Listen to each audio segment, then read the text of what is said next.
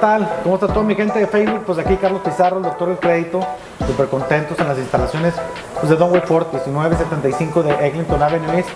Pues bueno, vamos a hacer unas preguntas a nuestra cliente que vino el día de ayer a buscar una camioneta y pues bueno, este día se la está llevando. ¿Qué tal? ¿Cómo está? ¿Cuál es su nombre? Eh, Gabriela. Cuéntanos, Gabriela, ¿cómo fue su experiencia aquí con nosotros?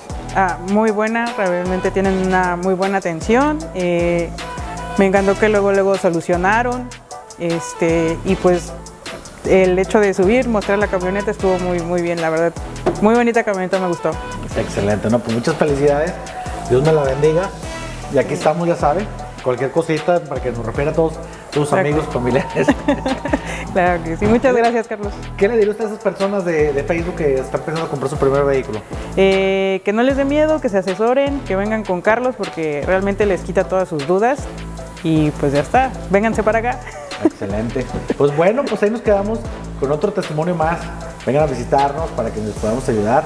También a ustedes si puedan llevar su vehículo lo más pronto posible. Muchísimas gracias. Los espero pronto y que Dios me los bendiga. Muchas gracias.